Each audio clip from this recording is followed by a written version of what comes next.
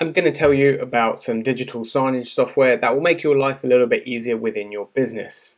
What we're going to do in today's video is have a look at how this works and how we can get things working on an Android TV box. Now behind me you can see the website for Liqvid Live and you can see that it's required on an Android TV. Now if you have one, great, you can go ahead to the Play Store and download the application that you need and if you don't, you can actually use an Android box and plug it into the HDMI monitor.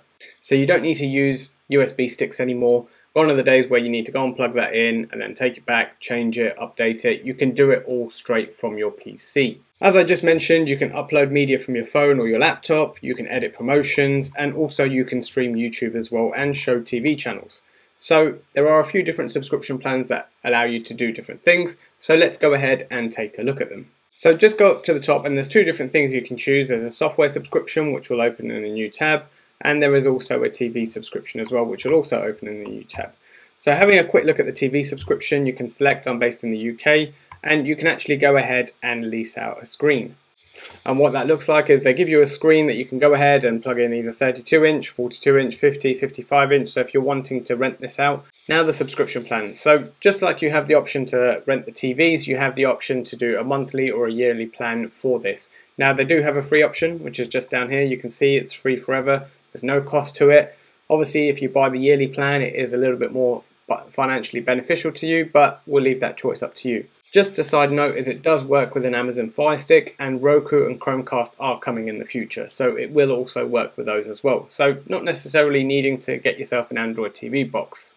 If we have a quick look down here and compare some of the plans, I'm not going to go through all of this but the main thing is with the free version you can connect up to as many screens as you want. You ha do have a limit in terms of your media and upload so you can see that there's a 10 meg limit and then that goes up to unlimited once you go to the paid version.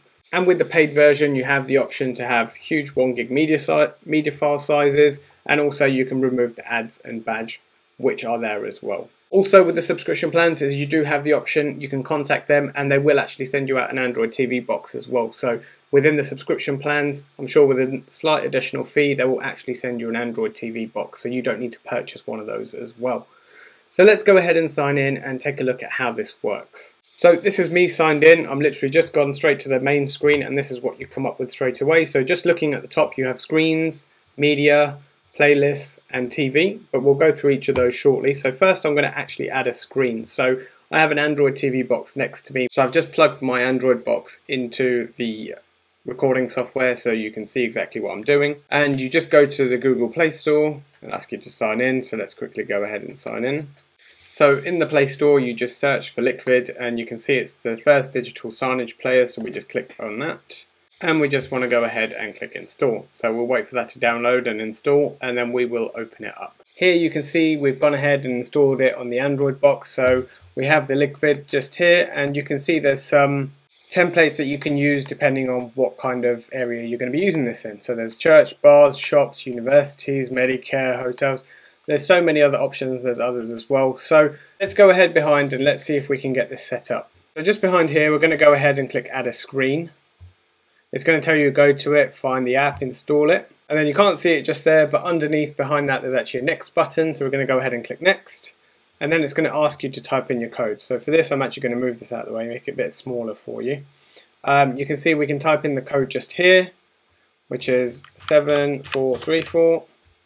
We'll click next. Then we go ahead and give the screen a name. So we're going to call this demo screen.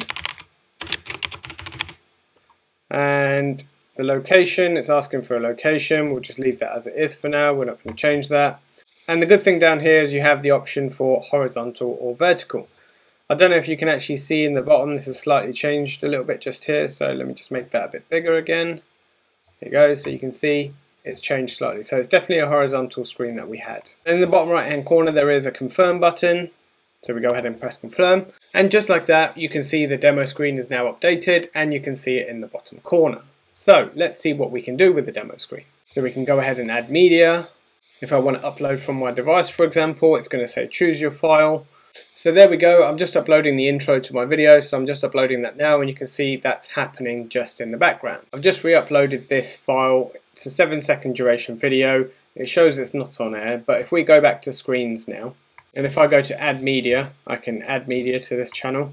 Uh, we can add it from the library and it's the one that I just picked, so we click that. And then in the bottom right hand corner I can click add media. Just going to move that to the middle so you can see and then all I need to do is click confirm and publish. So as soon as I did that you can see the media contents being sent, the media is updating and there you go it's now playing in the background. So that's one thing that's just continuously being played right there and it will just keep looping and looping and looping. So there you go, it shows it's already sent to it. So really, it's that simple and easy. And when it comes to the media as well, I'm going to just go back to this just to show you. If we go to add more media, you can see it's linked to a couple of other things. So we've got create with Canva, you've got Vista Create, you can add a YouTube video or add an external URL. So whatever you want to do, I know I've got YouTube videos that I could probably publish on here. So let's go ahead and give that a go media and YouTube video, paste, and then we click add video. You can see that video is right there. So we can literally confirm and publish that again in the bottom right hand corner and it's going to give that a second and we'll see that come live in just a second. So it is sending it, so just it's just uploading, so just give it a minute. So there we go, you can see that YouTube video playing right there and that's playing straight from the web. Now you don't need to worry too much about what sort of content you're going to be playing on here because there are some pre-built ones so I'm just going to move myself out of the way. You can see they have some for cafes, gyms, restaurants so if I quickly go to restaurants for a second and we look at meal of the day we can click on this, uh, we can add it to the library straight away so we don't need to worry about it and you can see it's now connecting and you can watch it on here as well so if I click watch it you can see exactly what's coming up. Now just to show you some of the other areas, you can actually create a playlist. So you can go on here and create your first playlist. You can add the media you require. So let's just quickly add from library. Let's just add the three files we created. In the bottom right hand corner you have add media, so we add that. So you can go ahead and pre-select what you want to choose. So if you have different things that you want to show at different times of the days, for example you want videos in the morning, and then you want pictures in the afternoon, or pictures in the afternoon, or and videos in the morning, or if you want that completely different, a mix and match, you can set that up in your playlists here. And it's just a case of simply sending it to the screen and it's as simple as that. And just to show you in the bottom right hand corner, it just says select screens, show what you want to send it to, and away you go. So it's really easy and simple to change these playlists.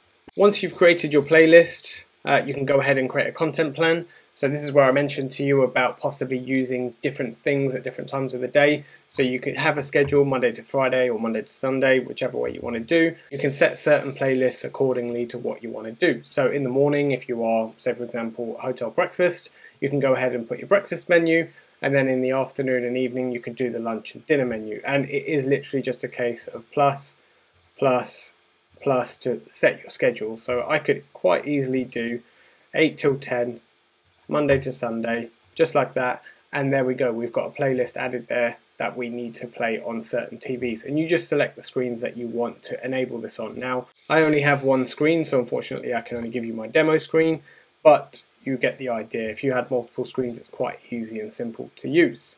Last thing I want to show you is just TV channels. So these are ones that already exist on here. So for example, probably not ideal for most workplaces, but if you want fails, you can go to just publish it to the screen um, select your screen and I want it to go to the live demo one and in the bottom right hand corner we just click publish and we'll just see that it's going off in the background now and republishing it and I just quickly deleted what was playing on the screens at the moment otherwise they would have come up first but you can see the AFV just shows certain fails I guess. So there are quite a few on here. Now the last and final thing I do want to show you I know I said that previously but if you go down to the bottom just here, you can see I need more channels. And what this allows you to do is submit requests through to uh, Liqvid Live to say, this is the channel name I want a TV for, and this is the language I need it in. And they'll go off and have a look to see if it's feasible for the business.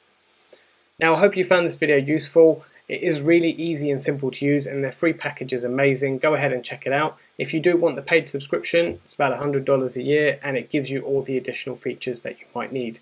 Really easy and simple to set up and you can even control it by your mobile phone as well.